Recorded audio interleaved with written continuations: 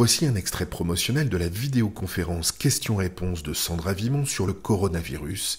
Être un émetteur de conscience, la créativité, les interférences astrales et surmentales, percevoir la vibration, l'agenda de l'esprit, la colère, les lignes de temps, ressenti versus tension, amour pour soi et amour pour l'autre, double éthérique et couple cosmique, etc. Vous pouvez vous la procurer en totalité sur le site web www.supramental.biz. Bonne écoute Quelqu'un qui a plus d'esprit universel, euh, qu'est-ce qui arrive? Ben, il va avoir tendance justement à être généreux, à donner, donner, mais il va manquer d'identité. Puis il va pas, il va pas dire à l'autre, ben là, tu es chez moi, euh, qu'est-ce que tu fais? Arrête. Euh. donc, il n'y a, pas cette définition-là de conscience. Ce qui est difficile, c'est qu'au fond, la personne doit aller chercher justement son identité, donc doit développer l'intelligence de l'esprit pour créer son double avant de pouvoir intégrer la totalité de l'énergie supramentale.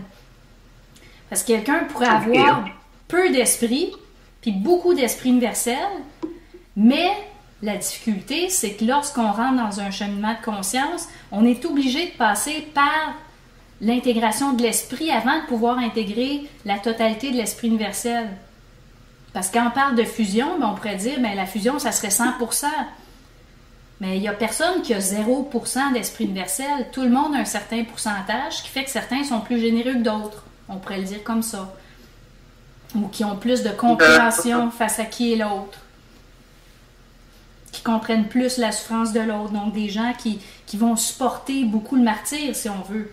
Donc ils vont être beaucoup dans l'énergie de l'esprit universel, mais ils n'ont pas d'identité. Donc c'est complètement déséquilibré.